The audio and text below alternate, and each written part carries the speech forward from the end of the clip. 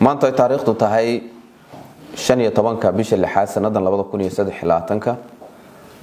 maanta oo khamiisa shirkii guddiga joogtada kulankiisii saddex iyo labaatanaad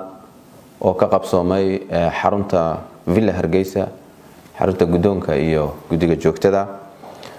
wuxuu guddigu isku raacay in la hakiyo kulamadii golaha sabtida oo toddobiyo labaatanka toddobiyo tobanka bishana sannadan labada kun iyo saddex iyo labaatanka waxaana loo hakinhayaa acmaasha xajka oo ay dad badan oo fara badan oo xildhibaanada ka iyo dad badani ay waajibaadka xajka gudanhayaan.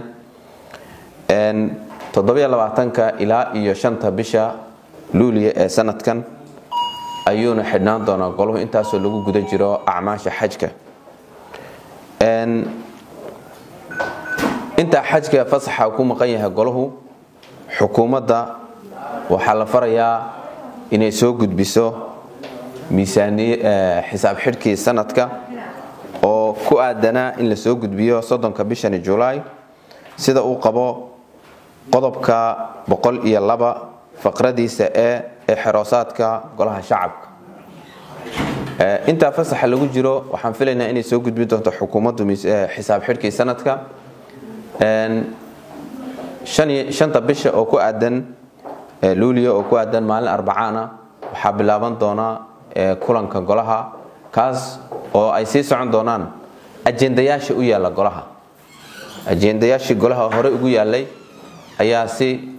isku dhafa u bilaaban doona. Intaa ka horeysana waxaan rajaynaynaa inay xukuumaddu soo gudbin doonto xisaab xidhka ee laga sugayo wakhtigiisa inay ku soo gudbiyaan si aad ogtihiinba waxaa jira ajendayaal la jadwaleeyey oo uu sameeyey guddiga joogtadii kuwaas oo lagu dardargelin doono kalfadhiga saddexaad ee golaha shacabka ee sanadkan aynu ku jirno. Aad iyo aad baadna u mahadsantihiin kulankii maantana intaas ayaa lagu go'aamiyey ka farxi ehelkaaga asxaabtaada iyo qaraabadaada. U la soo deg abka dahabshiil si aad si fudud lacag ugu dirto marka aad la soo degto ablicathonka dahabshiil ee aad lacag ka dirayso isticmaal koorka khadmad la'aanta ee tree free oo kuu sahlaya in saddexda jeer ee ugu horreeya ee aad lacag dirayso aan wax khidmad ah lagaa qaadin. Dahabshiil howlfudaydiyahaaga maaliyadeed